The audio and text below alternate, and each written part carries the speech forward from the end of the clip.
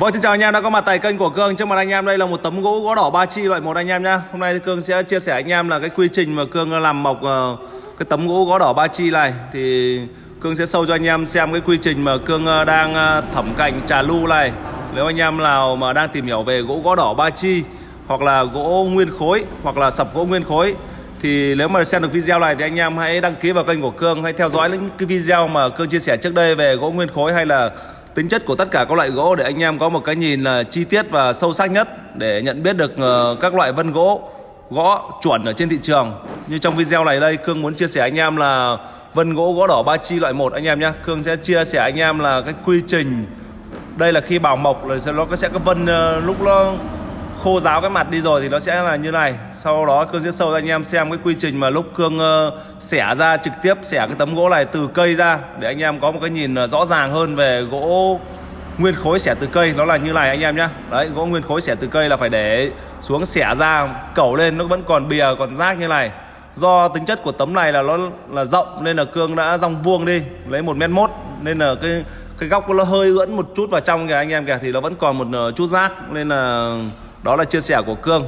Khi tấm này làm nên thành một cái mặt bàn thì rất là đẹp. Thì tấm này cương cũng đã để cho một ờ, bác ở trong ờ, bình dương rồi. Nên là khi mà bác qua xem cái video này thì bác rất là ưng về tấm này. Bác nên đã bác đã mua mình cái tấm này rồi. Nên là mình quay lại chia sẻ anh em ờ, về cái mặt vân cũng như là tính chất để nhận biết gỗ gỗ đỏ ba chi loại một anh em nhé đây cương đã cẩu ra ngoài để cương uh, xịt nước vào để cho nó nổi cái bề mặt vân lên. Nếu anh em nào còn chưa rõ về vân gỗ gỗ đỏ ba chi thì hãy đăng ký vào kênh của Cương.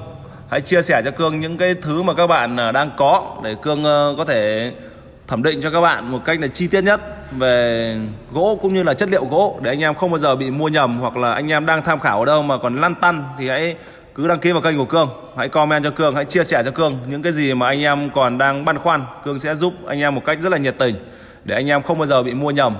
Chơi sang hàng nó phải có cái chất lượng anh em ạ.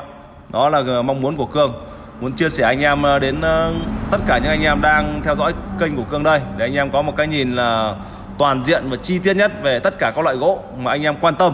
Đại khái như trong ờ, video này, thì Cương muốn chia sẻ anh em thật chi tiết về cái vân gỗ gỗ đỏ ba chi loại 1 thực sự là trong cái video này thì Cương xẻ cái cây gỗ này ra nó rất là hay. Ở chỗ là nó được hai loại vân, một là cái loại một, hai là loại vân nó thường, vân chai. Anh em nhé như cái loại hệ vân chai thì cương cũng đã chia sẻ rồi. Ừ, nhưng trong video này cương sẽ chia sẻ anh em là cái vân sóng của gỗ ba chi loại một thì nó sẽ là như thế này anh em nhé đấy anh em nhìn thật kỹ này.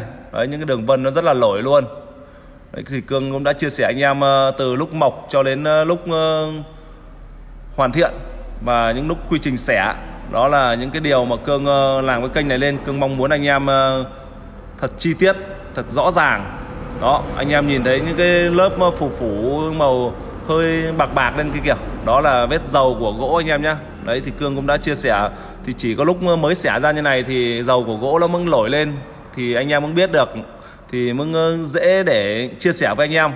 Đây, anh em xem cái tấm gỗ. Còn cái vết hơi kẹp kẹp mà cành kia, thực ra là nó, cái vết kia là kẹp cành nơi cương cũng không mong muốn gì nó có đây. Nhưng mà thực sự là nó cũng là điểm nhấn của tấm gỗ, anh em ạ tấm này cương khẳng định luôn là không bao giờ bị lứt lát gì rồi. Đấy, nếu anh em ờ, nào mà đang quan tâm đến gỗ gõ đỏ hoặc là cần nhận biết về tính chất của gỗ gõ đỏ thì hãy đăng ký vào kênh của cương, hãy comment cho cương, hãy chia sẻ cho cương những cái điều anh em còn ờ, đang ờ, băn khoăn, thắc mắc để cương làm video hoặc là gửi cho cương những hình ảnh cần cương chia sẻ như nào thì cương sẽ chia sẻ anh em một cách trực tiếp luôn.